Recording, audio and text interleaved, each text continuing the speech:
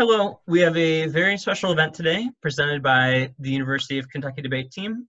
The first ever, at least to my knowledge, virtual public debate. My name is Casey Harrigan. I'm the Associate Director of Debate at UK.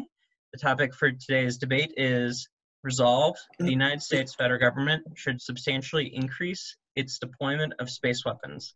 This topic is similar to the 2019-2020 NDT CEDA resolution, which our squad just finished debating, and I will place a full copy of the resolution in the notes to this video below. The format for the debate is similar to a traditional policy debate with some modifications. There will be three constructive speeches, each followed by one minute of cross-examination and two final rebuttals. The affirmative will speak first and last, which will be balanced by the negative speaking for slightly longer time in the middle. Introducing our debaters, we have four soon-to-be graduating seniors. On the affirmative side, Anthony Trufanov and Genevieve Hackman and on the negative side, Maria Sanchez and Dan Bannister. And I will now turn it over to Anthony for the first affirmative constructive. In March 2018, President Trump announced the creation of a sixth branch of the armed forces, the United States Space Force. He said, when it comes to defending America, it is not enough to merely have an American presence in space. We must have American dominance in space. The strategic concept underlying this announcement is sound. The space environment of the 21st century is primed to be a central and vital battleground, and the United States has no choice but to accept the necessity of defending it vigorously. Thus, we stand resolved that the United States federal government should substantially increase its deployment of space weapons. The stakes are enormous.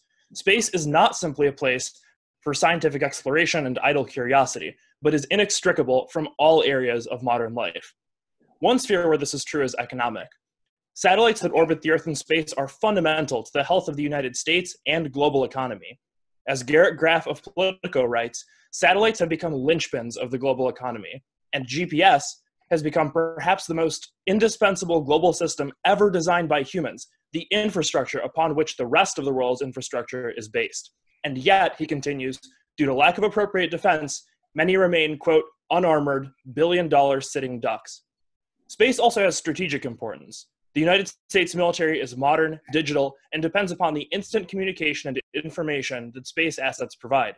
Our adversaries, though they lag in many areas of hard power, are aware of this so called asymmetric dependence and are purposefully targeting our space systems in order to degrade US warfighting. In response, we cannot be complacent. The US must take active steps to respond to changing space conditions that threaten fundamental national interests. We don't back militarization lightly, Rather, we support it because we recognize the simple truth space will be weaponized whether we want it to be or not. Our obligation is to maintain an appropriate advantage to keep the peace that has underpinned prosperity on Earth for decades. As Robert Zubrin writes, to deter aggression, it won't be by matching potential adversaries tank for tank, division for division. Rather, the United States must seek to totally outgun them by obtaining a radical technological advantage. This can be done by achieving space supremacy. Our belief is that these weapons will never have to be used. The deterrent effect alone will be overwhelming. But if not, having such capabilities will be essential to winning a future war in space. Should adversaries choose to target US assets regardless of US dominance, having a robust suite of potential options to respond and defeat such actions will be essential. In conclusion, as Peter Kamisai, MPA in space policy from George Washington University, wrote, a space arms race is impending nations have already started deploying space weapons. Being a leader in space now will require fewer resources than trying to surpass other nations later. Therefore, the US will have to pay the cost of catching up if it does not lead the charge in space weaponization. Therefore, the wisest choice of action is to deploy space weapons now when it is our choice, rather than later when it is not. Thank you. And I'm open for cross examination. Okay, so you've mentioned that Russia, China, and others are building space weapons, but it seems that their technology is significantly behind ours. What specifically are they building that could threaten our space assets? So they've both uh, both Russia and China have demonstrated dramatic space capabilities. In 2007, China conducted a highly damaging test in which they destroyed a satellite in low Earth orbit. And remember, China and Russia only have to outpace US defenses. So even if US offense has the potential to be much stronger, they still have an asymmetric capability, like we talked about. Okay. Um, but if it's true that a space war would significantly damage the global economy, why would China or Russia engage in such actions when they have such a huge stake in the global economy? So, like we said, our argument is about the pursuit of relative power. So, sure, everybody would be damaged by a confrontation in space, but Russia and China expect that because of their asymmetric capability, they could make a relative gain compared to the United States' position in the world by launching a preemptive war in space. Thank you.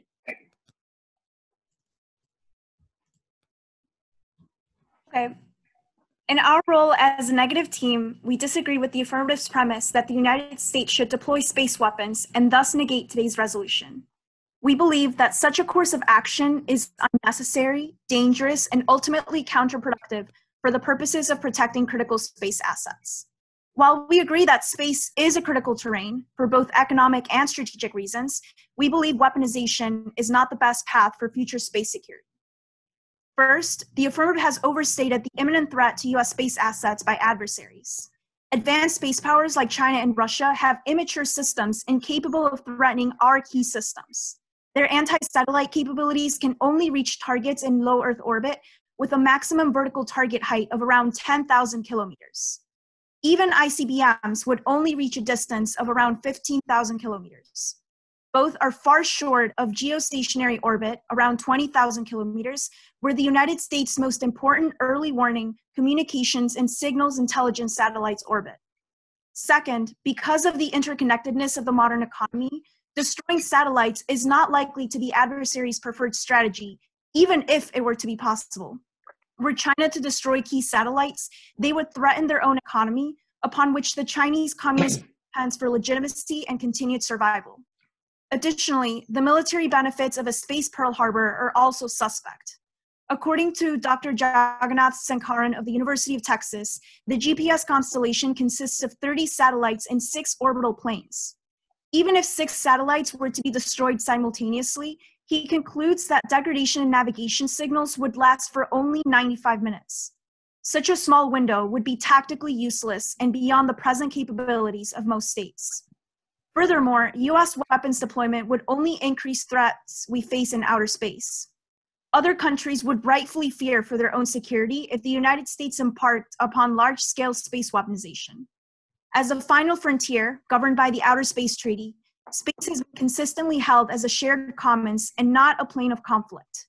Were the United States to breach this long standing international norm, it would risk a global arms race as other countries would not accept being left behind. Additionally, development of space weapons would at best present a Pyrrhic victory. With thousands of indig- individual satellites spread out over huge distances and the rapid speed of all objects, including ASAT weaponry, it would be impossible for the United States to simply shoot down incoming threats. Decades of repeated attempts and failures while developing terrestrial ballistic missile defense would be child's play compared to the immense difficulty with doing so in space. Finally, instead of pursuing safety through arms buildup, the United States would be better served by moving in the opposite direction, towards arms control. Russia, China, and Europe have all indicated willingness to negotiate formal limits on weapon deployment in space. While there remain differences in approach, the US could compromise or suggest its own preferred course of action. This would limit threats in space and build upon the long tradition of arms control in improving trust, confidence, and relations between great powers on Earth. Thank you, and I'm open for cross-examination. So you described some limitations to Russian and Chinese direct ascent ASATs, but there are also other kinds of threats. For example, there are co-orbital ASATs, which involve sending a spacecraft that pretends to be a repair satellite, but it could close in on critical satellites and physically disable them. Do you believe this is a significant threat?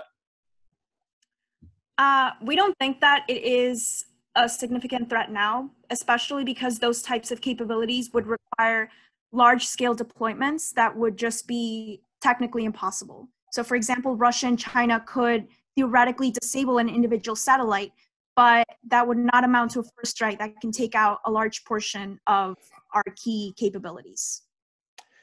You mentioned several arms control proposals, but the history of arms control with Russia and China is checkered with accusations of noncompliance and cheating. How do we know that such an agreement would be verifiable, especially considering even the meaning of a space weapon is under contention? That there's certainly some disagreement on what constitutes a space weapon, but that we think that that is only a reason why we should continue to have more sustained dialogue and cooperation with China and Russia so that we can iron out those details and also work out systems of uh, compliance and um, verifiability of whatever arms control agreement we decide to adopt. Thank you. The threat to the United States in space is imminent and real. Our opponents are far too sanguine about its prospects, understate adversaries' capabilities, and narrowly focus on only certain ASATs to the neglect of others. The risk of attacks is high.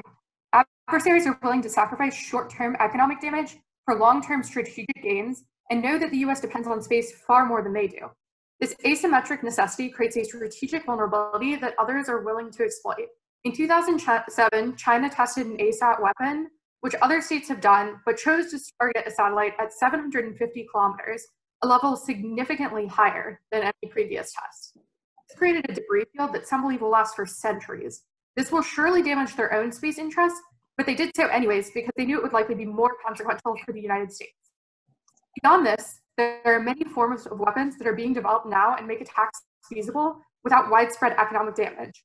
Both Russia and China are investing in co-orbital ASATs, essentially dedicated spacecraft that will perform rendezvous and proximity operations, coming near satellites under seemingly peaceful pretenses of servicing, only to reveal their hostile intent and physically disable key assets.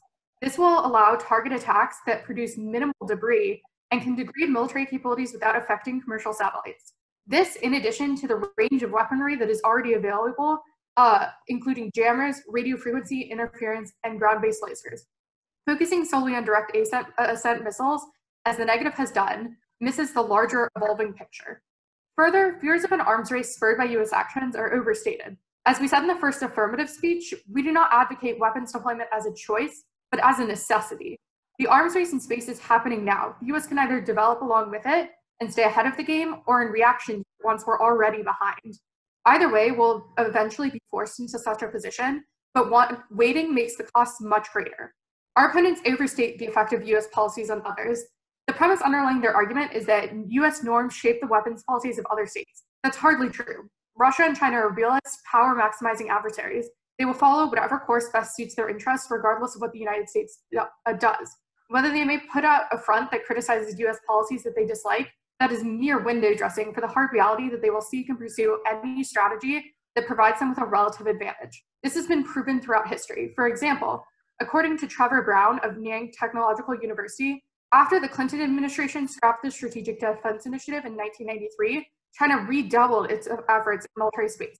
Last, our opponents suggest that arms control would be more effective than militarization.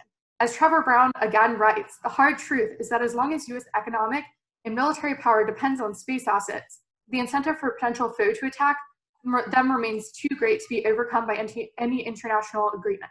And as Christopher Stone on the Space Review, by reading decades of Russian and Chinese open source planning and doctrine papers, it appears the Russian and Chinese are moving towards weaponizing space, but they are blaming the US falsely for doing it first as their excuse. They are luring the arms control community into blaming the victim.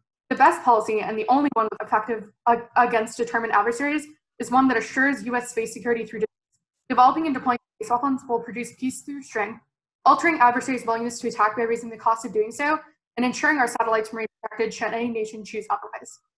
Thank you. I am now open for cross-examination. So if an adversary were to target the United States with jammers, how would advanced space weapons deter that? And would you recommend that the United States use space lasers in response? Ambiguity in US response postures would be sufficient to deter that action by another country. Right now, the cost seen by any other country to attacking US satellite is low because they know the US doesn't necessarily have the capability to attack them in response. But if the were to develop better technological capabilities in space, that would allow us to convince the opponent that the costs are too high to risk it. So lasers could be one option that would be on the table for the US to use. And so even if adversaries may not fully restrain themselves if the US forgoes weapons development, is it not also the case that the US that US deployments would encourage them to accelerate and develop certain types of weapons that they would not otherwise? Accelerating weapons development is happening now. Like we've stated in our speeches, Russia and China are developing new weapons like co-orbital ASATs that would be able to attack the United States. The only question is whether or not the United States can develop a sufficient capability to show Russia and China that the costs of using those would be worse uh, than the status quo.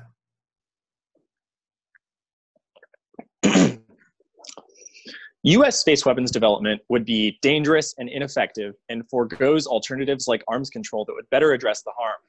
In order to justify such a huge departure from the status quo, it is the affirmative's burden to present an overwhelming case for the necessity of such a course, and they have not done so. First, the risks posed to the United States are low. Most other countries have modest counter space programs.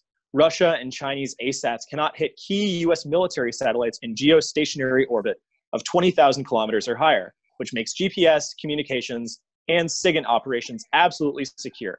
Other threats they have identified are years or decades down the road, and even then the risk is hardly severe. Further, even if the capability for such an action existed, the affirmative has not at all demonstrated its propensity.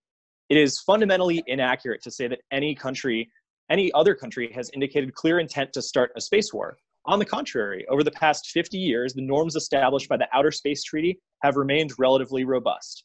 No nation has deployed weapons of mass destruction in space. There have been no serious claims to territory, and space itself has remained a global commons. The reason for this is not only that all states recognize the futility of an unwinnable conflict in the skies, it is economic. States are self deterred because they realize that war would be a losing proposition for an ever growing part of the global economy. The CCP understands that their legitimacy depends on continued economic growth and wouldn't be willing to risk it. Second, provocative moves such as deploying space lasers would only worsen security by encouraging arms buildups and countermeasures by other countries. Russia and China would obviously not take US developments sitting down. Before our first system was deployed, they would not only be well on their way to fielding systems to bypass it, but also create dangerous weapons of their own. Third, if our goal is to maximize space security, arms control is a more fruitful path. Numerous scholars have identified methods of introducing verifiable arms control of ASATs lasers, co-orbitals, and more. And the efficacy of this has been proven by post-Cold War nuclear reductions.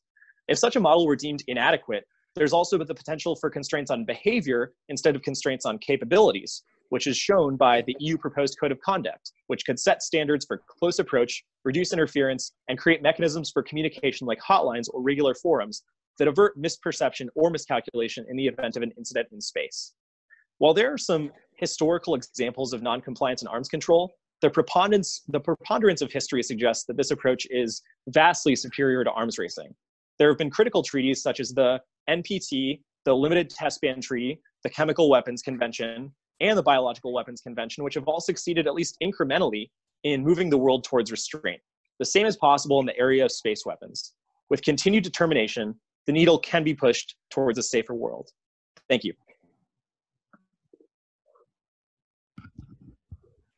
With the final speech in today's debate, we conclude with a reiteration of our opening premise. With the space environment transforming, it is incumbent upon the United States to maintain global security through a robust deterrent. This requires an immediate effort to deploy resources required to keep critical assets safe. Our opponents have agreed with the fundamental economic and strategic necessity of protecting satellites. Underpinning trillions of dollars in wealth and underwriting global security, space is paramount. The question is which strategy is most effective for producing safety, weaponization or arms control? Our contention is that weaponization is the only effective and verifiable means to prevent conflict and that no alternative is sufficient. Our opponent's concern about a global arms race is non unique. The arms race is happening now, we are already witnessing a rapid proliferation of all facets of space weaponry, from direct ascent weapons such as those developed by China and India, to lasers and jammers developed by Russia, and surely more we can't even imagine in the near future. The United States is not at fault. This is driven by many realist countries seeking rationally to maximize their power in space and being driven to asymmetrically counter overwhelming US military power in other areas. Restraint is not an option. The US only has a choice between acting now, establishing leadership and deterring attacks before they can occur, or waiting until after others proliferate and then being forced to catch up from behind. Either way, weapons deployments are inevitable, but the cost in blood and treasure will be much greater if the US is slow on the uptake. Alternative options like arms control are ineffective and unrealistic. As the experts we have previously quoted have said, the incentive to attack remains too great to be overcome by any international agreement. When it comes to our country's future, we cannot rely on mere words on a piece of paper.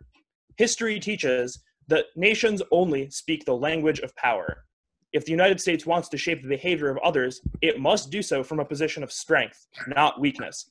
This requires fielding the assets required to deter and defeat attacks on US satellites. Thank you.